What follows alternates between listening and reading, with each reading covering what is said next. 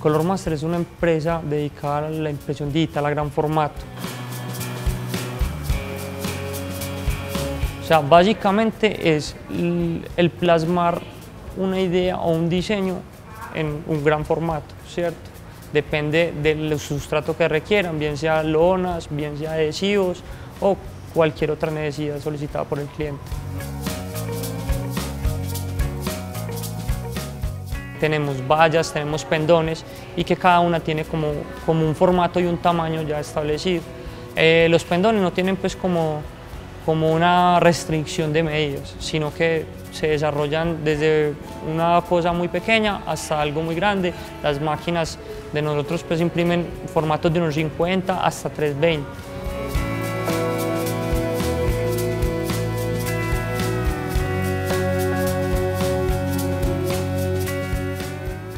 En un principio se imprimía pues a pedazos pequeños, ya después con, el, con la actualización de la tecnología ya tenemos pues una, una, amplia, una amplia impresión, por llamarlo así, ¿cierto? El color genera una buena parte en nuestra vida como diseñador y como en este medio que manejamos. Normalmente son cuatro, que son cian, magenta, yellow y black, ¿cierto? Que es el famoso CMYK. Las máquinas de acá están programadas para imprimir en CMYK. ¿Qué es lo que pasa? Que las máquinas también tienen un magenta light, un cyan light, un yellow light y un black light. Entonces, de ahí es porque la impresión en cuatro tintas, en seis tintas y en ocho tintas. O sea, se utilizan, las cuatro se utilizan pues las cuatro principales, cuando son seis se utilizan con el respaldo de dos light y cuando son ocho tintas se utilizan con el respaldo del, o sea, serían las ocho tintas.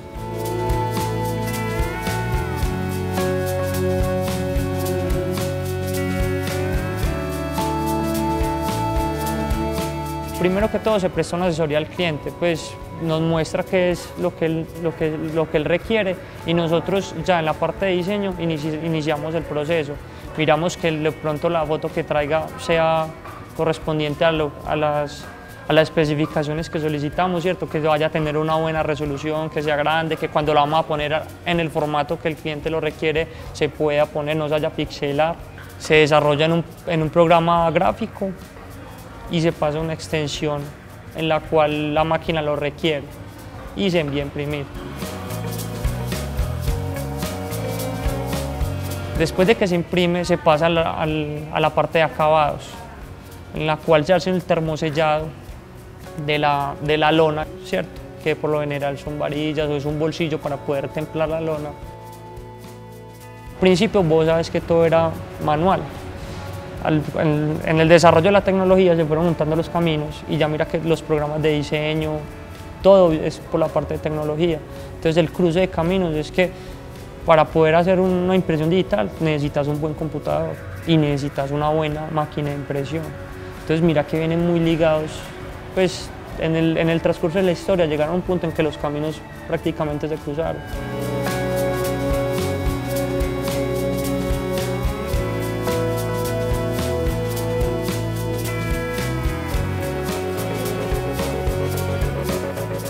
Como diseñador, sí, tengo algunos colores que son, utilizo más que otros, pues me inclino mucho como por la parte del verde y de pronto por el azul, pero más que todo creo yo que utilizo el verde.